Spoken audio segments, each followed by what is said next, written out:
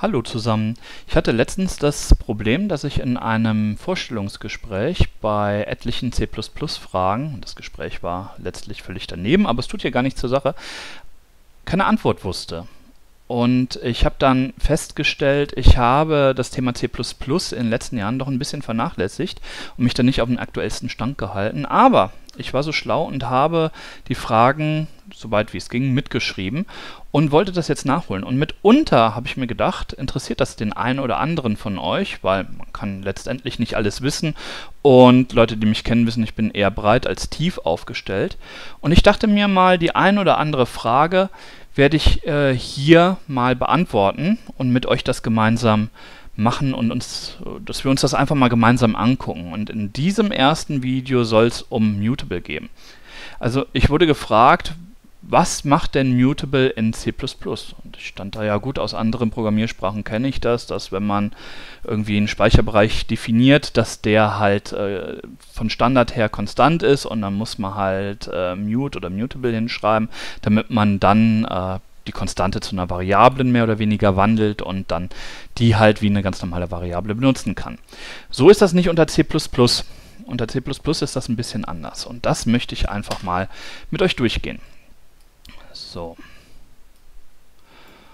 Und dafür öffnen wir einfach mal eine Konsole und gehen mal hier in Development und ich mache mal hier äh, Vorstellungsgespräche. Und da legen wir eine neue Datei an und die nennen wir mutable.cpp.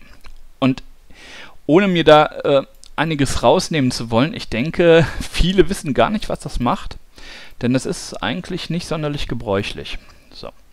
Mutable ist dafür da, tatsächlich Variablen in konstanten Bereichen abänderbar zu machen. Das zeige ich einfach mal.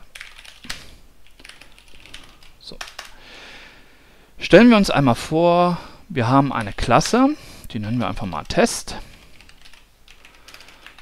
Und die hat eine Methode, ähm, machen wir erstmal einen Konstruktor, die hat eine Methode um, void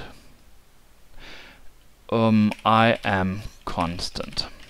Und die ist hier konstant. Und wir haben hier im Private-Bereich tatsächlich eine Variable, die heißt int counter und die setzen wir mal auf 0. So, soweit so klar. Huch. Wenn wir das jetzt einfach mal so implementieren,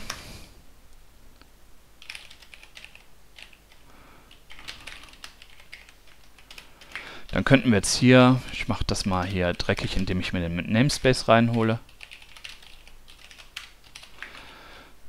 um, cout, uh, method call oder sowas.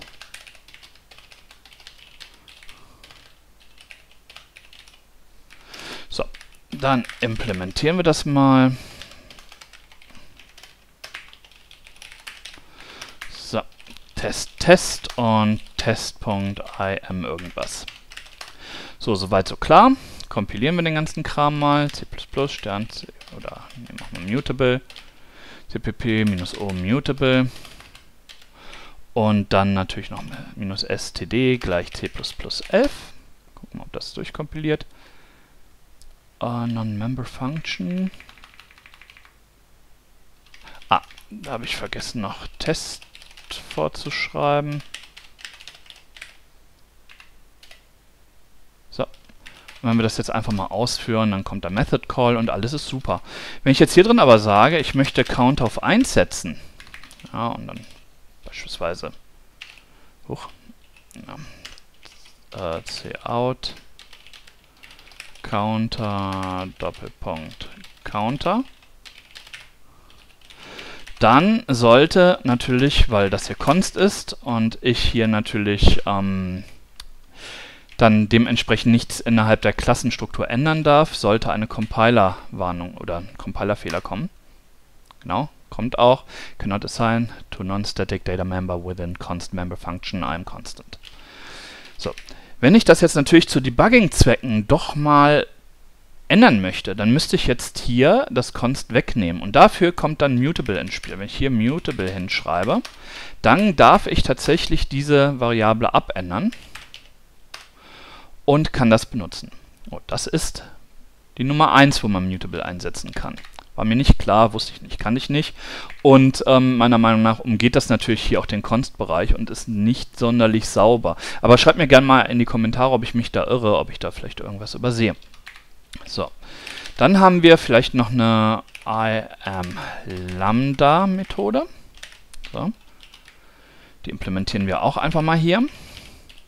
Das soll jetzt kein schöner Code sein, sondern einfach nur zeigen, was ich meine. Und hier haben wir eine int-Variable, die nennen wir einfach mal, hm, wie nennen wir sie denn? Äh, Numbers oder sowas. Ist auch völlig egal, wie sie heißt. Und wenn wir jetzt hier davon ausgehen, dass wir hier jetzt eine Lambda-Methode benutzen, bei der wir per Copy die Variablen übergeben, dann haben wir nämlich dasselbe Problem. Und zwar Auto, machen wir mal Funk gleich.